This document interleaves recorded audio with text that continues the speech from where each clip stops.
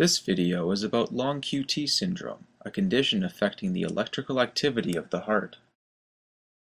Included in this video is an overview of the etiology, pathophysiology, diagnosis, and treatment of this condition.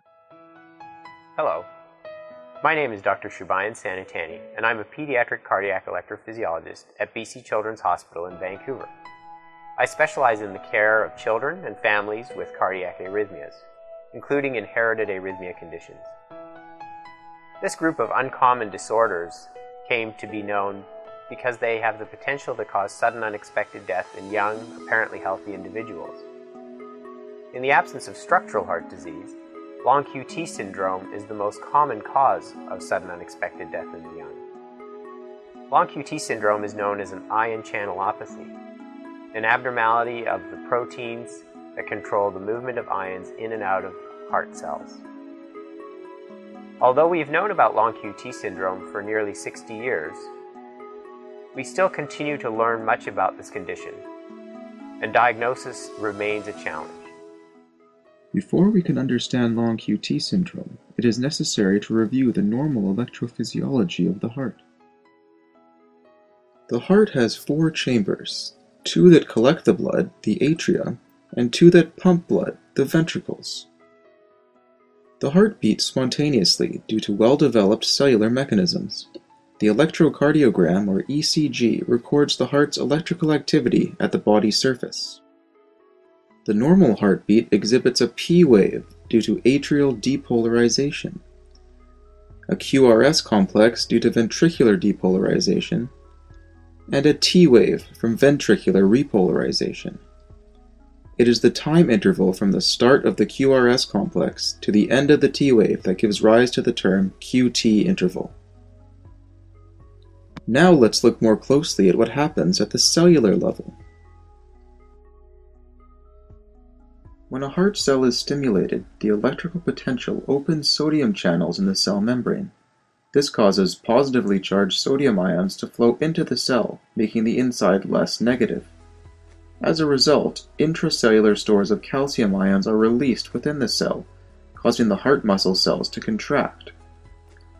The change in membrane potential caused by the influx of sodium ions will open voltage-dependent potassium channels. Efflux of potassium from the cell will produce a repolarization, returning the membrane potential to its normal negative value. This resets the membrane for the next signal. Although there are several ion channels and currents underlying the cardiac action potential, long QT syndrome is primarily a disorder of potassium and sodium channels. Now that we have an understanding of normal cardiac depolarization and repolarization, let's continue on to our discussion of long QT syndrome.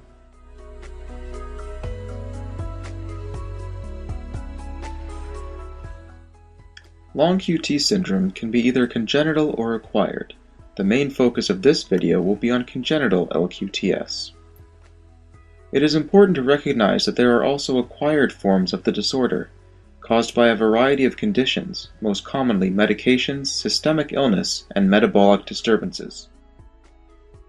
Congenital long QT syndrome is an inherited condition that occurs in roughly 1 in 2,500 individuals. Most forms of congenital LQTS are autosomal dominant, meaning that a person with the condition has a 50% chance of passing it on to their children. There is a rare form of long QT syndrome that is inherited as an autosomal recessive condition, in which case an abnormal gene is passed on from both parents. It should be noted that over 10% of LQTS cases arise from de novo mutations.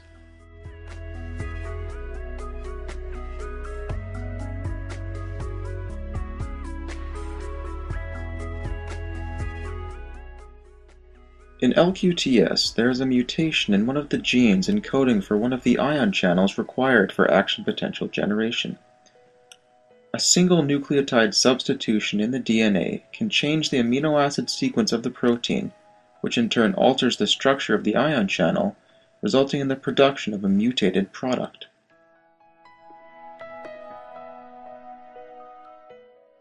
The abnormal ion channel may result in reduced expression on the cell membrane or a gain or loss of function.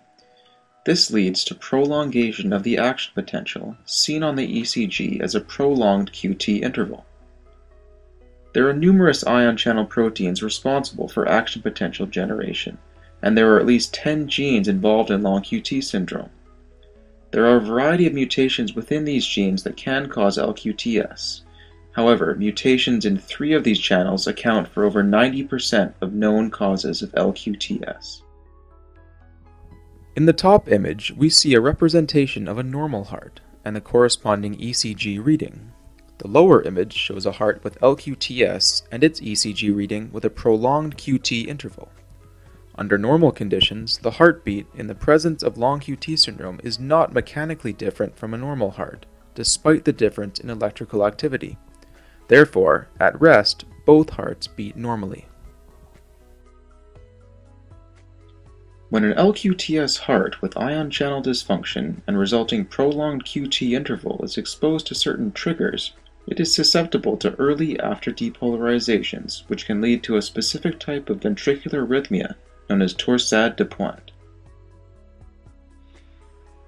There can be specific triggers for different types of LQTS. For example, in LQTS1, swimming is an important trigger. LQTS2 events can be triggered by loud auditory stimuli such as a telephone ringing or an alarm going off. Events in LQTS3 usually occur at rest. Torsades de pointes is named for the characteristic appearance of a rotating QRS axis on ECG reading. This abnormal rhythm can lead to syncope, seizures, or cardiac arrest, and without treatment may progress to ventricular fibrillation.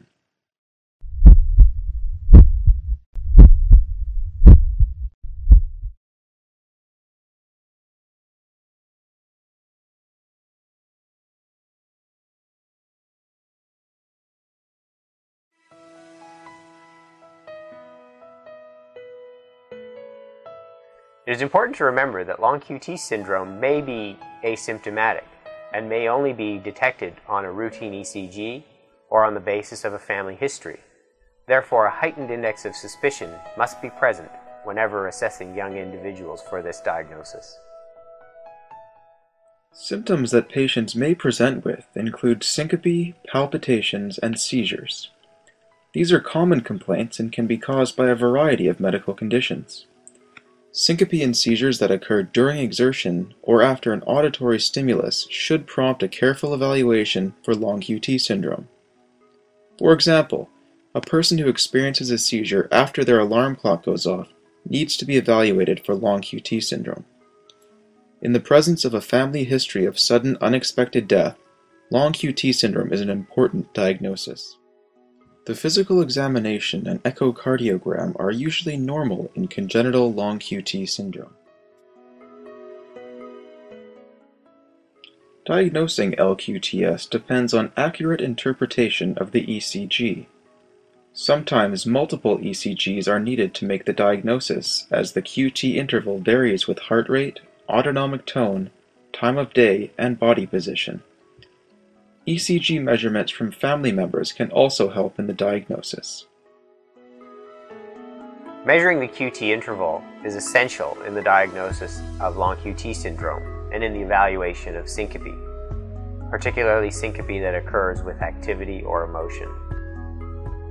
It is important to remember that the computer readout may not be accurate and may in fact be misleading, and therefore manual measurement of the QT interval is essential.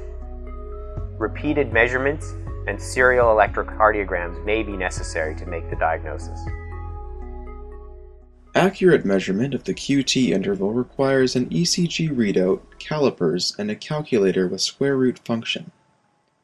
Measurements are usually made from leads 2 or V5. The QT interval is measured from the onset of the QRS complex to the end of the T wave, where it intersects with the isoelectric baseline. It is important to define the end of the T-wave correctly, as is shown in this diagram. It is essential to have a 12-lead ECG recorded under optimal settings, as baseline and movement artifact can interfere with correct interpretation. The manually derived QT interval should be corrected to account for heart rate. The corrected value is referred to as QTC and can be calculated using Bazett's formula.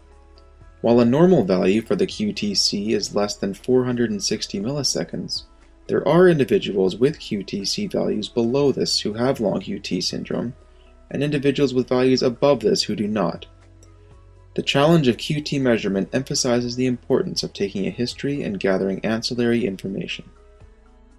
As the use of genetic testing has increased, we have learned that at least one quarter of individuals harboring a long QT susceptibility mutation have a QT interval which is in the normal range. An exercise ECG in which the QT interval is measured during recovery from exercise can also be used in the workup of patients with suspected LQTS. Findings suggestive of LQTS include a lack of shortening of QTC and an abnormal T-wave morphology, such as T alternans and notched T waves. Historically, physicians have calculated an LQTS score to determine the probability of a patient having LQTS. While a good screening tool in the absence of a larger pedigree, this method has largely been replaced by genetic testing, particularly in families with an identified mutation. Genetic testing involves screening a patient's DNA for mutations in the genes associated with LQTS. Genetic testing became commercially available in 2004 and is now considerably more accessible and affordable. However, Approximately one quarter of patients with a clear clinical diagnosis of long QT syndrome will not have a genetic mutation identified on testing. The complexity and heterogeneity of the disease makes genetic testing a challenge, and the low sensitivity of the test limits its applicability to all patients. It is also very important to offer genetic testing for the patient's first degree relatives. Not all mutations are pathogenic, contributing to additional diagnostic confusion. By now, it is evident that it can be difficult to make a diagnosis of long QT syndrome. There can be severe consequences of both overdiagnosis and underdiagnosis. Fortunately, there are several centers with expertise in these uncommon conditions who are willing to help. A list of resources is available at the end of this video. Once a diagnosis of LQTS has been made, the management and treatment of the condition become important aspects of patient care. The pillars of LQTS management include patient education, healthcare professional education, and medications. While important to be aware of, other forms of treatment are only necessary in a limited number of patients. Education and awareness are the most important aspects of LQTS management. Individuals with LQTS must be aware of the common triggers for their condition and be alert to any concerning symptoms they may experience. Some treatment guidelines for LQTS suggest the avoidance of competitive sports and strenuous activity. Physical activity is an essential part of a healthy lifestyle, and it is now thought that activity levels should not be restricted. Most importantly, those with LQTS should not be forced to continue an activity if they are feeling unwell, and should always be allowed to stop and rest when they feel the need. Swimming is an important trigger for LQTS and should only be performed when accompanied or supervised by a lifeguard. Family members and friends should be encouraged to maintain up-to-date CPR training. A medic alert device or similar notification is also advisable.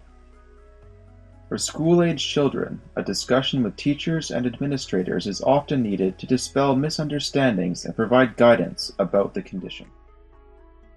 Another aspect of patient education involves preparing the patient and their family for situations involving an unanticipated cardiac event.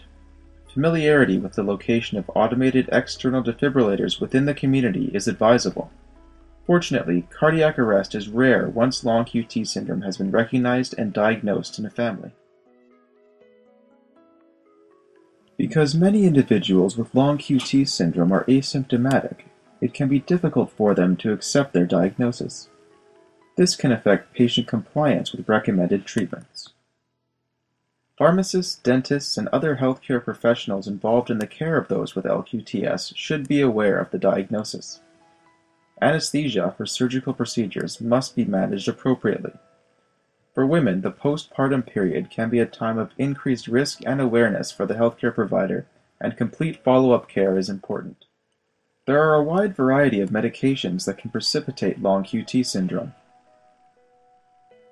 Over-the-counter and prescription drugs need to be reviewed carefully before use. In the case of medications known to prolong the QT interval, an alternative medication should be selected. When no other option is available, the physician should perform a risk-benefit assessment, use the minimum effective dose, and monitor the patient closely for signs and symptoms of prolonged QT interval. A list of medications to be aware of is maintained at the University of Arizona's qtdrugs.org. The mainstay of pharmacologic therapy for long QT syndrome is beta blockers. For the majority of patients, no further therapy will be required, as beta blockers reduce the risk of torsade de significantly. Caution with concomitant medications is of course also important. Noncompliance with beta-blocker medications can be a barrier to effective therapy. Missing doses can place the patient at higher risk of cardiac events and again emphasizes the importance of education and awareness. In the small group of patients who remain symptomatic despite beta-blocker therapy, other treatment options are available.